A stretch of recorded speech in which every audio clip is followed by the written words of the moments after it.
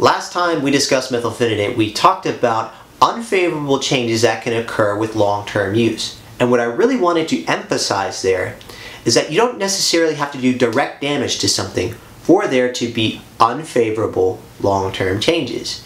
And what we talked about was, well, people take methylphenidate because they want to increase dopamine levels and that has shown to have positive effects in people. But chronic use of methylphenidate leads to increased dopamine transporters. Methylphenidate blocks dopamine transporters and that's how it gets its increased dopamine. So long-term use increases the number of transporters, right? So what happens is, over time, it becomes less and less effective. And then after it becomes ineffective, what is the person left with? Well, they're left with more dopamine transporters, which means they have less active dopamine levels, which is not good. So after discussing this, people have continued to ask more questions, say, well, is there more to it than that? Is it just increased dopamine transport levels, or is there some kind of direct damage or something else that might cause damage or toxic effects? And what recent studies have shown is that answer to be yes. What this and other studies have shown is that methylphenidate increases glutamate levels. And what glutamate is, is a neurotransmitter, just like serotonin, just like dopamine. But glutamate is the main excitatory neurotransmitter of the brain. So most neurotransmissions are done by glutamate. And it relates to methylphenidate because methylphenidate increases glutamate levels and with that comes increased focus, uh, working memory, long-term memory, and a whole bunch of other things. Now, while at first that sounds like a good thing, and it is, but it has its problems. And the problem with it is that high levels of glutamate are toxic, excitotoxic in fact. In fact, my whole video on excitotoxicity is based off of glutamate-mediated excitotoxicity. So if you haven't seen that video, you can go ahead and watch it. I'll put a link there. Now the problem with that is that it causes brain death, brain cell death, and brain damage if it doesn't kill it outright. And it can be quite a vicious cycle. It's implicated in a lot of neurodegenerative diseases and problems with different types of strokes. So here, think about it this way. So if you've seen my excitotoxicity video, you understand the principle. But also what I did not go further on to explain, and which what I would have done later, is that it is implicated in many neurodegenerative diseases because the cells often that release the glutamate are not the same as the ones that receive the glutamate. So if you have some excitotoxic effects where cells are being damaged or are dying because of high glutamate levels or other excitotoxic effects, it starts reducing your cell count, right? However, those cells that are releasing the, the glutamate or whatever the excitotoxic neurotransmitter is, those ones are not dying. Their job is to release. The other ones that are, are dying off are the ones that are receiving the signal. So as these start dying off, there are fewer and fewer ones that are receiving the signal, and but there is no reduction in the amount of whatever the excitotoxic compound is, in this case glutamate.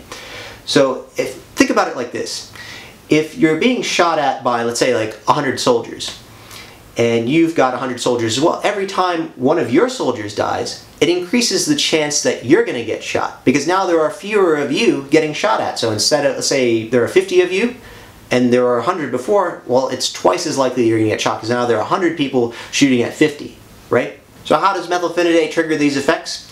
Here's how it works. There are three cells involved. There's the cell that releases the glutamate, right? the cell that receives the glutamate, and then there's a third cell in between, and this is the one we're going to spend most of the time talking about. There's a third cell in between called a glia cell, and what these cells do, well they do a lot of different things, but one of the functions is that it functions as a housekeeper, so it, it filters out stuff out of the cerebrospinal fluid, it puts other nutrients and neurotransmitters back in. It has a lot of different functions, but we're mainly going to be talking about its housekeeping functions. And one of those neurotransmitters that it filters out is glutamate. And there are two different sites we're going to talk about on the glia cell. So forget about the releasing and the receiving cells. We're just going to talk about the glia cells, the housekeeping cells. So the main problem with methylphenidate is that it interferes with the housekeeping cell's ability to do its job. It's not able to filter out the glutamate as well. So it accomplishes it by this. So the way that it takes out glutamate is that there are certain transporters that pull glutamate in, and what they are are sodium dependent. So I guess the best way to explain this is to talk about both at the same time. So there are two transporters involved. One is the one that takes in the glutamate, and that's called GLT1. There's also another one as well, but they're both sodium dependent. So they work by sodium coming into the cell and then it's able to filter out the glutamate at the same time. Then there is another mechanism that takes sodium out of the cell so it can keep that sodium flow going. So I think the best way to think of this, well, a better example would be of a dam.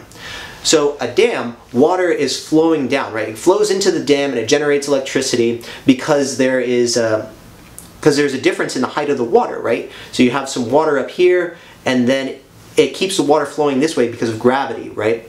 So a similar thing happens with uh, the sodium. So the if you want to think about it, since there's less sodium inside of the cell and there's higher amounts outside the cell, it wants to keep flowing in until it's even, right? So think of like the dam. Water is going to keep flowing through the dam until the water level rises until it's even, right? So this is basically how the cell works. Sodium keeps coming in and it starts filling up with sodium. But there is no gravity here. Once sodium is once the sodium level is equal, no more glutamate is going to be coming into the cell, right? So what the cell has is something else called sodium potassium ATPase. And basically what that does, if you think of the dam example again, so once the water level is neutral like this, there's, not, there's nothing else that can happen unless you lower the water level, right? So basically what you can do is you can basically take like a bucket and just scoop water over the other side and that will lower the water level on this side and then water will start flowing again. Imagine the, the water flowing through is pulling glutamate with it and taking it out of the system, right? So what sodium potassium ATPase does is that it pumps out sodium and then pulls in potassium. So it throws sodium over the side to lower the water level and so that the water can keep coming in and keep bringing glutamate. So here's where methylphenidate interferes with this. Uh, what these studies have shown is that methylphenidate in some way or another damages the potassium sodium ATPase or sodium potassium ATPase, whatever order you want to talk about it in. And if you damage this pump, once the water level rises on the dam, and you break the pump that throws water over other side, it comes to a stop, right? And then what happens? It stops filtering out the glutamate, and the glutamate on the outside of the cell rises because these cells are not able to keep the, the water level down to allow the filtering of glutamate. How damaging is something like that? No one's really sure. There don't appear to be studies on them right now. But without question, long term, that will certainly have an impact on someone's performance. If you compare it, say, to someone who's like an Olympic runner, as someone who just is a long distance runner, let's say I take that same runner and I throw like a 15, 20 pound weight belt on them. Maybe even in the beginning, they may be running at the same speed and be fine. But the longer that race goes on, the more and more that weight belt is going to have an effect on their performances. Once they start getting tired, it will definitely make itself more felt. And if you think of that damaging cascade where you have all of those soldiers shooting at fewer and fewer people, then at that point it will become much more pronounced. If someone all of a sudden has a neurodegenerative problem or some other form of brain damage, these things can happen, then it will make itself felt a lot more quickly and a lot more potently in people who have those kinds of issues.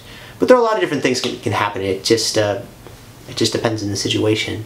So I hope you found this helpful, and if you have any other questions, let me know, and I'll see you next time.